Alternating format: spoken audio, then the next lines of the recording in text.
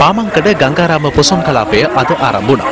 මේ අවස්ථාවට බස්නාහිර පළාත් සභා මන්ත්‍රී එස්.එම්. මරික්කා මහතාද එක්ව සිටියා.